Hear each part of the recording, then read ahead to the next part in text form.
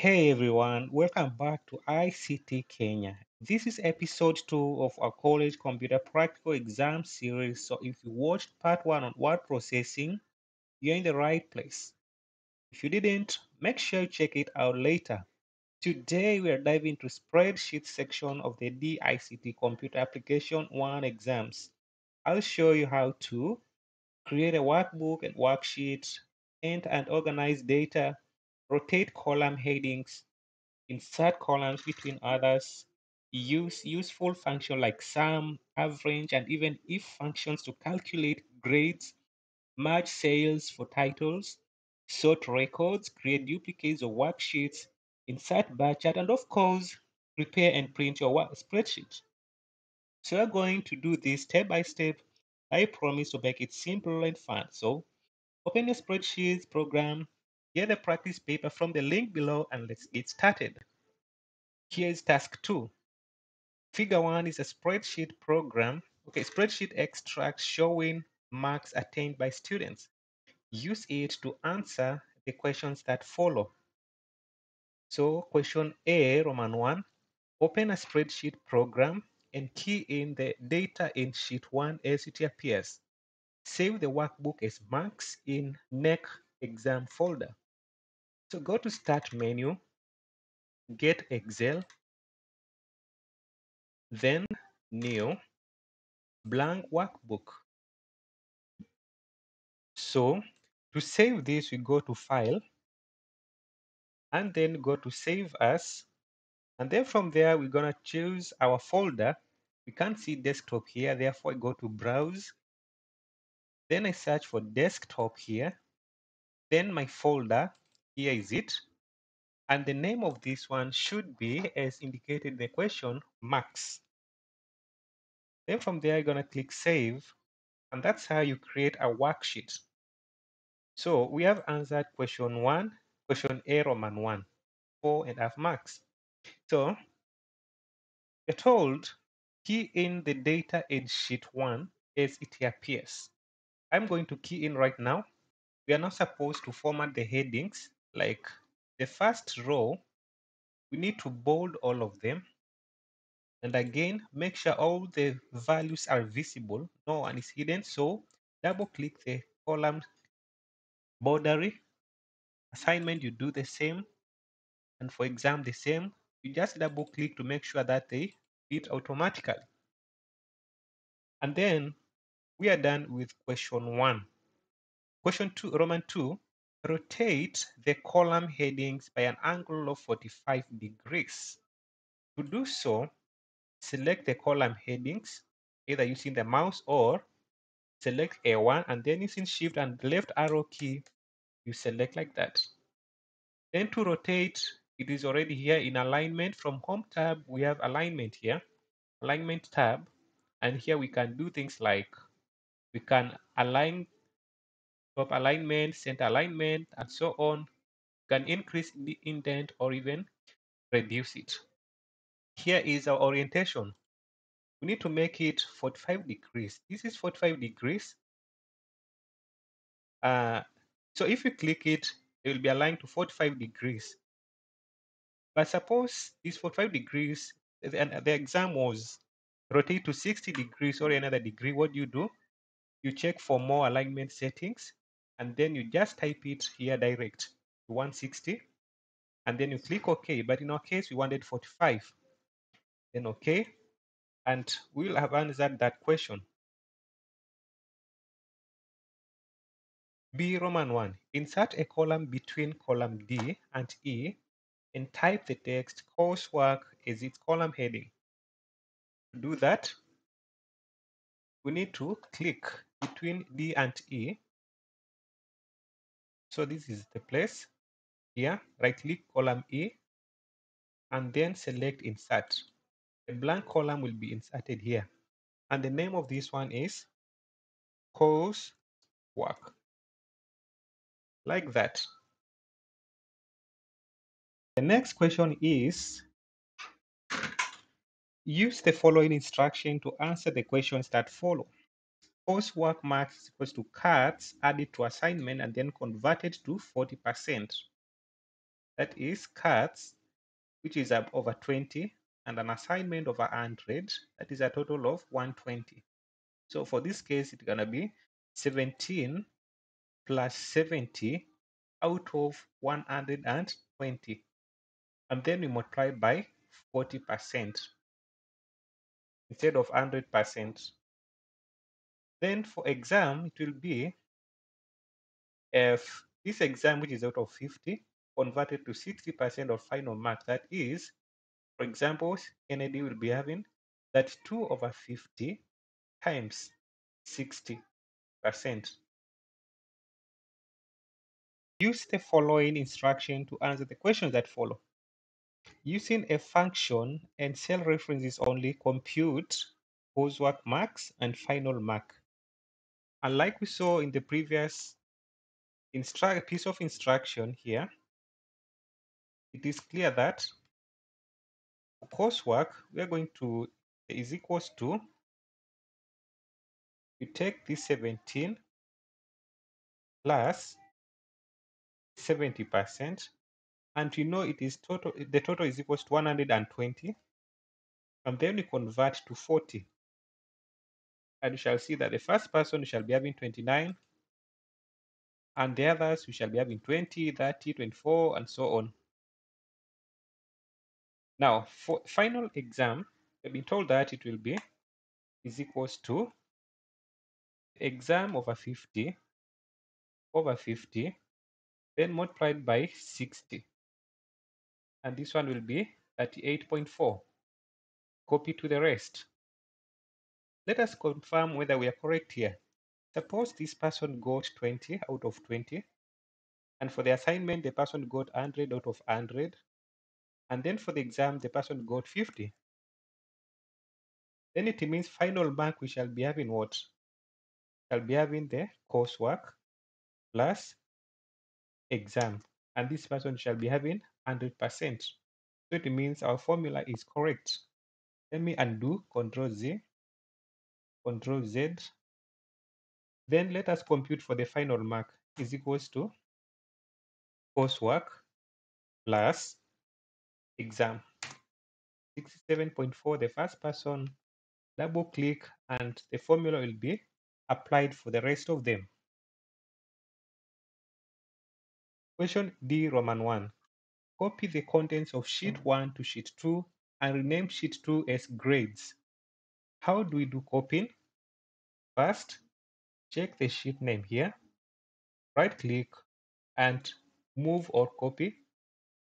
Then move to the end, create copy, and then K. And here is our new copy. Right click it and rename the copy as grades. Press enter and we are done with that.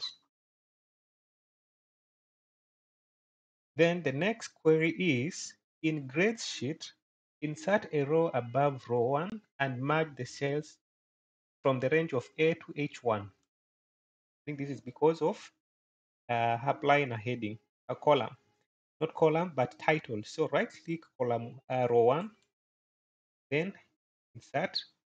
This is how you insert a blank row. Then merge A1 up to H1, merge them like that. Then type the text module 1 exam results. So this one will be module 1 exam results. You can format it up, make, making use of the pre-formatted styles here and tell, talk about heading 1. And do, there's a mistake logo here. So go there and then and talk of title like that. Sort the table ordered by student name in alphabetical order. So to sort a table, we have to select even the column heading. Then from there, we can go to data tab here at the top.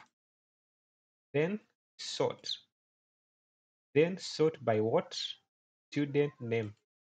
And the instruction is sort by student name in alphabetical order like this one either a to z or z to a and then OK.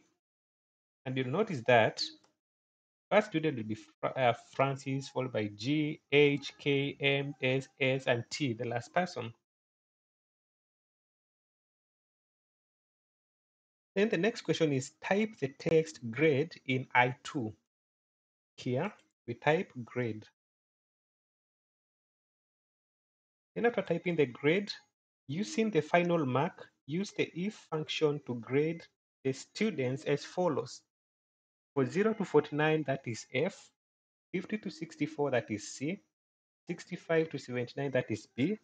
And 80 to 100, that is an A.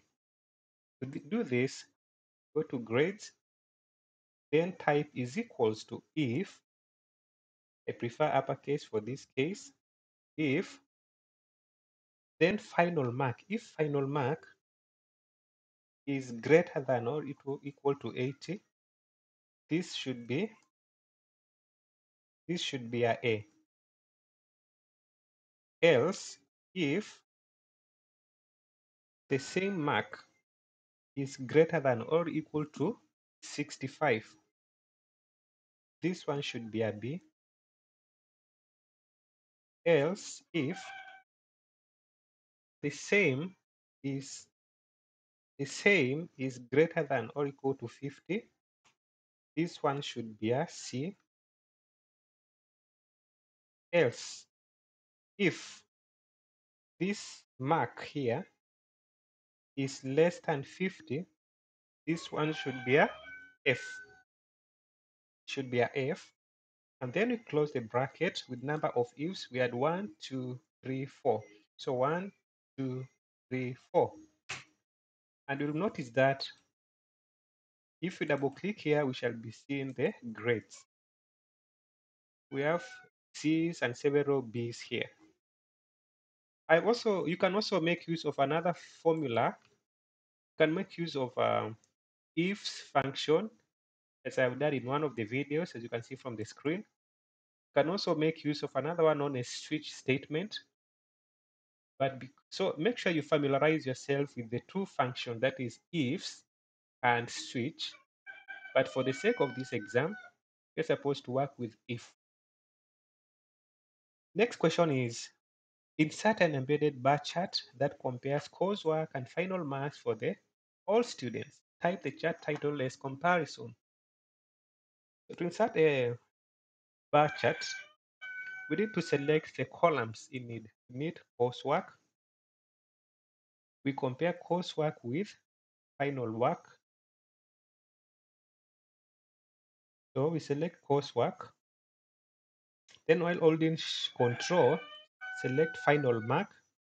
But because you also need to know the student name, we select the student name.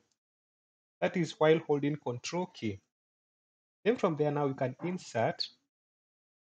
Then we need a bar chart. This is a column or bar chart. Here we need bar chart. You can choose any of these bar charts here. 3D, yes. And then the chart title should be comparison. Comparison.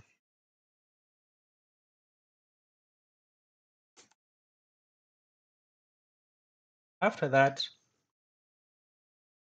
it is usually advisable to take this chart to another page. But before I do so, let me design it to make it appear more attractive. Can check these styles here. There are a lot of styles here to make it more appealing. So in some exams, you may be told that this chart should be moved to a specific hey, uh, worksheet. To do that, just click the chart, go to Move Chart, then to a new sheet and name the sheet as maybe Chart. And then you click OK, even though this is not required in this exam paper. By clicking that, the chart will go to its own worksheet. Now, since we have already done with that, let us check the last question. Save the changes to print out later each of the following sheet 1 and grade sheet. So to print sheet 1, all you need to do is to go to File, go to Print, and then select your printer here. But before you select your printer, check whether all the columns can fit in the same page. If they cannot fit, you can change the orientation to landscape. But in my case, or go to scale it and select fit all columns on one page like this. But in my case, uh, we don't need to apply all of these because all the columns can fit in the same same page. Then from there now you can choose your printer here. But since this is for demonstration purposes, I will just choose Microsoft Print to PDF. That is converting my worksheet to PDF. Then from there, I print. Then from there, I'm going to save it in my folder as like that. And this one will be converted to PDF. The same applies to the grades. We had this chart in grades. Let me just take it back there. It was here. So we are supposed to go to File, Print, then not selected chart, but the selected chart. Go to File, Print, then Active Sheets only. Here is it. You can see that mine is spanning to the next page. So to avoid this, I can change the orientation to landscape. And this one becomes 4. Why is it 4? I only need to play with the chart a bit, a little bit, make it uh, smaller in size.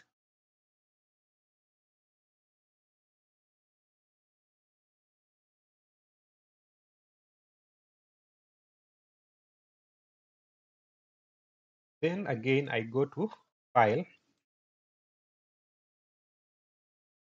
and Print. And now it fits in the same page. I set it to landscape, will it fit? Certainly. There will be one column here. And to solve this problem, we just go to no scaling and then we set fit all columns on one page. And all of them will be compressed to one page. Then you print. I'll convert mine to PDF, and this is grades. Then save. Then once I'm done, now I can close this, save changes. After saving changes, can also close my work. Let me go back to my folder.